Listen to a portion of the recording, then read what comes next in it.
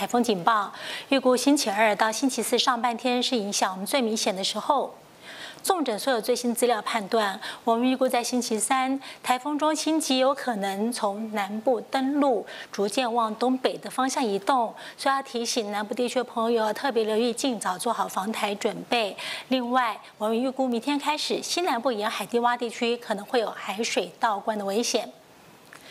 最新资料显示，在早上十一点的时候，山图尔台风已经来到鹅銮鼻南南东方大约两百一十公里的海面上，它未来还是朝西北西的方向移动。目前我们所发布的陆上警报区域比之前增加了高雄地区，所以是台东、恒春、屏东以及高雄。海上警报区域依旧是东南部海面、巴士海峡、东沙岛海面以及台湾海峡南部。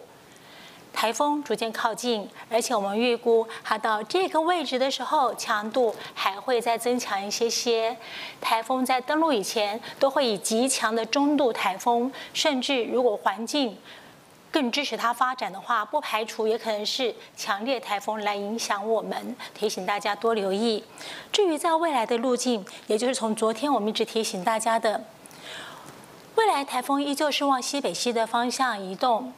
预估在星期二下半天才开始有逐渐向北转的角度，甚至到星期三上半天会往我们南部陆地登陆，然后再经过台湾地区，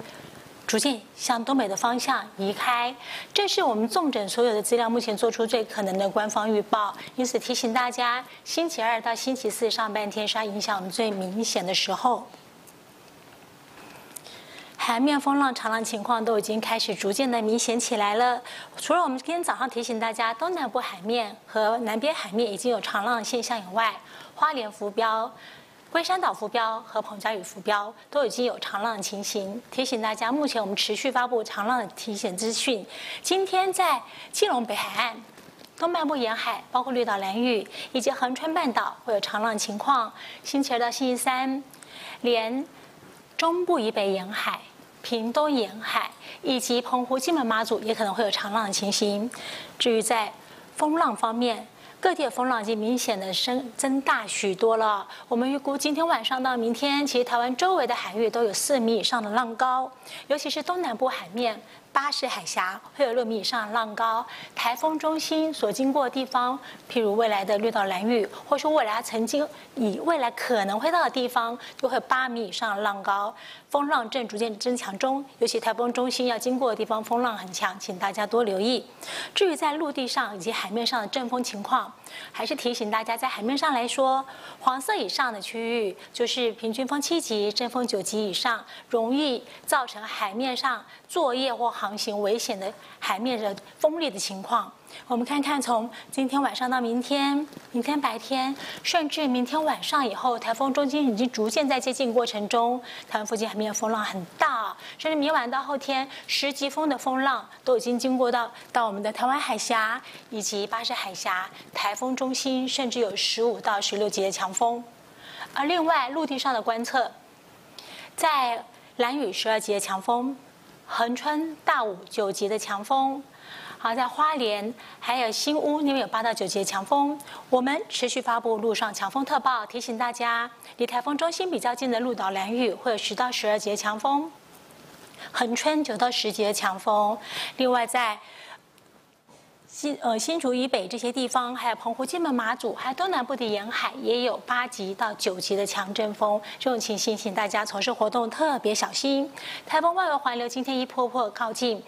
比较暖色系的，就是比较容易带来瞬间强降雨和强风的这雷雷达回波，也就是雨带。我们可以看到山屯台风中心以及外围的环流一波一波靠近，在刚刚这红色的雷达回波它所靠近的地方，有发现花莲、台东都有下到每小时五十毫米的时雨量。那当然，这一波比较强的雷达回波离开以后，降雨会又慢慢减小一些些了。但是下一波强的降雨又会再移进，要提醒这些地方，在今天还是会持续降下雨，而且有些回坡越过中央山脉，会造成南部地区、北部一些地区，甚至中部山区也会有降雨的状况。就以今天来说，其实今天东边、西边天气是两个完全不一样的状态，中东西两样晴。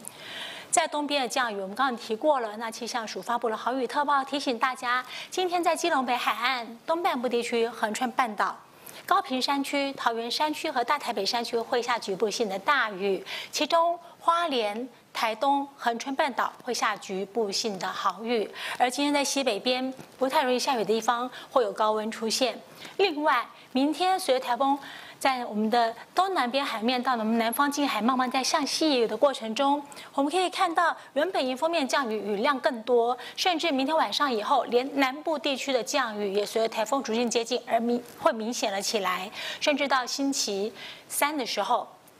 星期三，台风中心会很靠近南方落地了，所以各地降雨明显增大，甚至北部地区的雨也会比较大。我们预估星期二到星期三这段时间，北部东半部地区、中南部山区会下局部性大雨或局部性的豪雨，其中在东半部地区、横穿半岛。北部山区、屏东山区会出现豪雨以上等级的降雨，而这些雨必须等到星期四下半天台风逐渐离开以后才会缓和下来。而星期四下半天台风逐渐离开以后，迎风面其实在西北部地区还是有降雨的，有时候雨会比较大，而且预估北部、东北部和马祖温度会转得比较凉一些些了。我们刚刚所说的高温，我们先来看一下高温资讯，其实就是东西两样情，甚至到明天上半天都还是一样。我们今天预估。在中北部的高温三十五度左右，明天三十五六度，所以今天也预估在苗栗、台中、彰化，目前我们发布了高温资讯。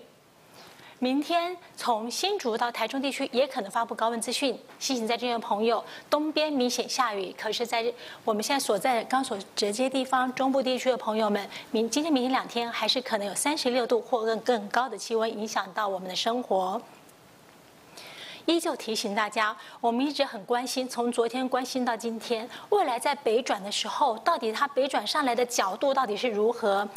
我们来看一下，这是我们所参考的所有台风的预报指引，看到很多条预报的路径。好，注意到这星期明天晚上到后天晚上，我们预估明天下半天到后天上半天逐渐向北转，而有不少资料，它的预估向北转的位置比我们目前的。官方预报还在更偏西一些些，好，还在更偏西一些，然后之后才会向东北的方向移向我们。不过不管怎样，这样子移动上来的台风，因为对南部地区来说没有任何屏障，所以南台风它中心很完整的结构，不论风或雨都会直接影响到南部地区。最后我们做个小提醒，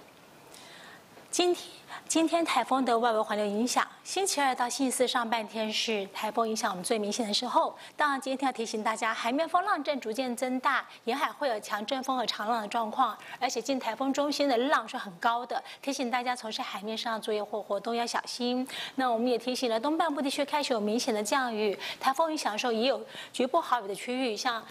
星期二、星期三啊，东半部地区、恒春半岛、北部山区、屏东山区会有豪雨上等级的降雨。这些降雨情况提醒大家，行经宜兰花莲、台东或者高屏山区这些地方要特别的留意。